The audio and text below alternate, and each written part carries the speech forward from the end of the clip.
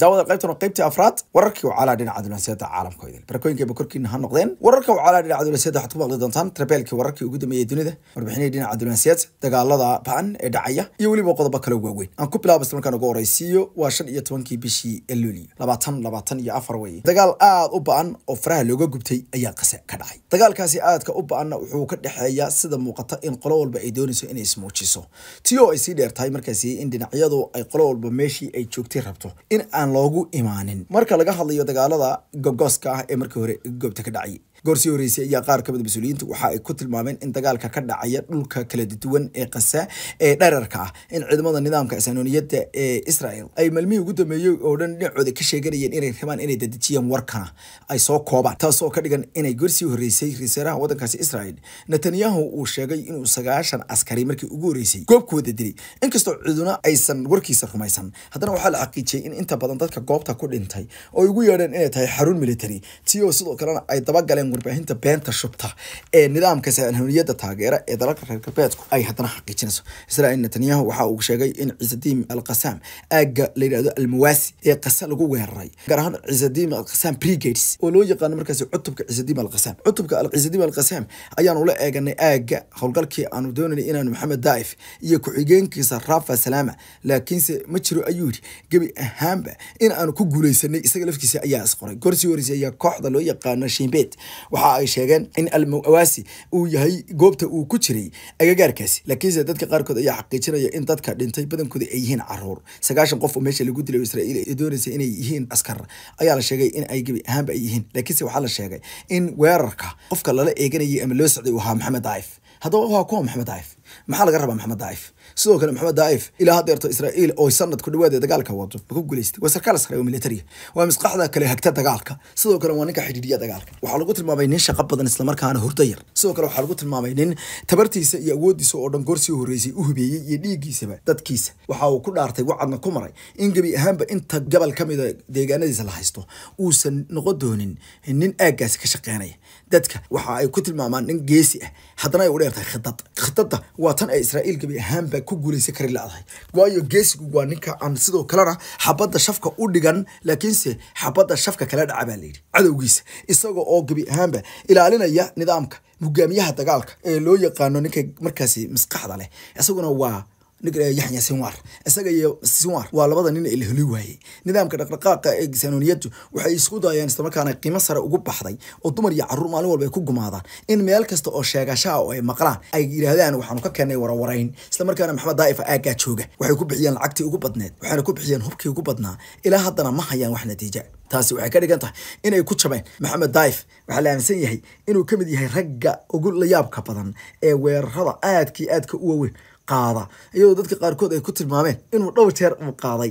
Weeraro aada iyo aada u culus oo dhammaantood aakhirkii guuleystay israel boqol jeer ayay isku dayday inay ninkan ay qaarajiso. Waxaa laga wadaa boqol jeer trooyin aan lahaynin cadadkooda sidaa daraaddeedna waxa ay gebi ahaanba ku guuldaraysatay inay ninkaasi ay waxyeelayso xamaas ayaa gorsii horeysay waxay samaysay qorshe la yaab leh oo lagu tilmaamay in ay hogaamiyaashan muhiimka oo dhan ay qariso.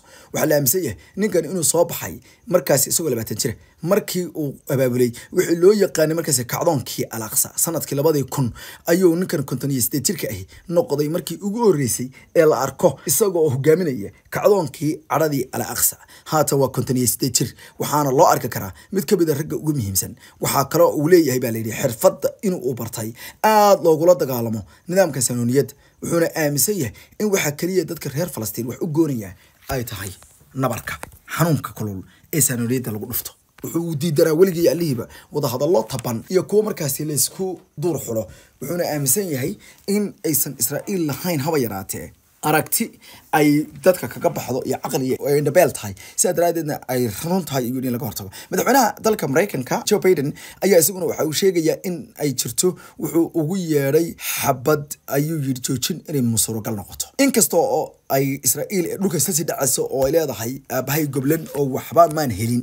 Islamarkaana ay barooranayso ilaa haddeerta oo aysan waxba keenin. Islamarkaana raggii muhiimka ahaa ee maalin walba intay meel ay dumar iyo carruur joogaan ay inta weerar ku qaado ay tirahdo war baanu helay xog baanu haynaa. Ogoobay haatan waxay u muuqataa in madaxweynaha waddankaasi uu leeyahay amase uu ku adkaysanayo in xabad joojintii ay suuragal tahay. Meesha laga raacay waa halkan. Sida la aaminsan yahay. Inkastoo warbaahinta nidaamka loo yaqaano cusriyiinta ah ee bidixda fog ay diidan yihiin inay sheegaan islamarkaana colaada dunida ayagu ay hurinayaan.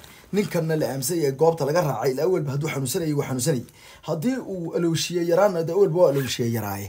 Meesha la iska raacay waa halkan sooma sidaa daraaddeed wuxuu ku adkaystay mar kale in isaga iyo kooxdiisu ay ku adkaysanayso nabadaynta. Annagu weli waxaan taaganahay ayuu qodobadii aan soo saaray. Weli waxaan qabaa hanaan muhiima oo comprehensive framework oo lagu wada shaqey karo kaasoo lagu abuurayo jawi ayuu yidhi xabad joojin oo rasmiya iyo in la keeno ayuu yidhi guryahooda loogu soo celiyo. Dadka qoofalan nidaamka israa'iil ka jira ee dhiigi cabiinta iyo qaar ka mid a dadka war morgarisiga ee dhiigga ka macaasha intuba ma qabaan ayaa la yidhi in xabadda la joojiyo islamarkaana waxay sii aaminsan yihiin. Gaaguntir iyo dagaal aada u baan in la sii wado. Waxaana lagu tilmaamay? Taasi inay marba marka ka dambaysa ay keenayso xaaladdu in ay aada iyo aad ay u xumaato islamarkaana u kaknaato sida halka loo dhigay qodobka ugu dambeeyana dalka boqortooyada sacuudi arabia wasiirkooda wasaaradda arrimaha dibadda ayaa mar kale ku celiyey inay suuragal tahay in gobolka oo dhan dagaalku uu ku fido.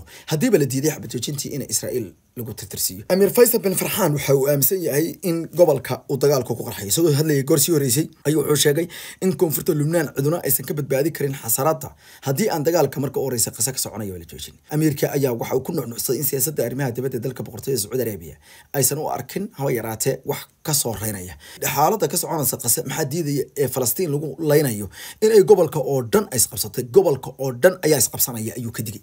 Sacuudiga ayaa noqonaysa hadalkan hadalkii ugu adkaa ee ka soo baxa. Inkastoosan uusan fasiraad ka bixinin in gobolka dhan bay ku fidasaa macnaheedu ay tahay sacuudiga dagaalka gelaya. Laakiinse hadduu yidhi gobolka o dhan sacuudigu gobolka ayuu ku yaalla sidaa daraaddeedna ciduna ka noqon mayso wuxuu yihi dagaalada iyo wuxuu yihi hararka dagaalada hirka ah dhammaantood waxaa weeye kuwa xataa aysan haysanin in badan. Yurub ayuu yidhi ma yurubba ikhtiyaar ka haysata ayuu yidhi markuu dagaalku fido. Isagoo markaasi xataa sheegaya iska daa sacuudiga in gobolka qaarad kale ee qaarada yurub uu dagaalku ku fidi karo. Amiirka boqortooyada sacuudi arabiya wasiirka wasaaradda arrimaha dibadda u ah waxa uu intaasi ku daray haddii aan israa'iil gacmaha la qabanin oo dalalka reer galbeedka aysan ka gaadhin arrintan. Inaan cidinaha dhowto aysan keeni karaynin ayaa layidhi marmarsiyo ah dagaalkani uu joogsanaya. Amiir sacuud bin faysal ayaa dhowaan dhanka kale waxa uu dalalka reer galbeedka uu weydiiyey kuna xujeeyey sababta ay u muujin waayeen hadday dagaalkan iyo xabadjoojintan doonayaan cunaqabatayn ay saaraan israa'iil maadaama ay waddamada kale ee judhaba isqabtaan ay kula soo haliilaan inay xabadjoojin ay ku cayuuqaan islamarkaana sanka ka geliyaan gaanka oranta washana qiimaha badan faafinta wararka waa keenista xogaha waa sidoo kale barnaamijkeena dhulmar barnaamijyadeena kale xiisaha badan iyo sidoo kale marba magaalo horle ayuu idinka imaanaya barnaamijyadeena diyabaydmo tan iyo intaan isku arki doonno qeybaha kale dabcan dhacdooyinkana waa daawateen kuwo kale waa daawa doontaan. Barnaamijkeena dhacdooyinkana dhacdooyinka ugu dambeeya caalamka iyo wararkeeni wadankeena hooyo oo qaarkood aad maqli doontaan. Ayaad ku maqli doontaan d a baydma faafinta wararka waa xaggiina keenista wararkana waa xagganada amaana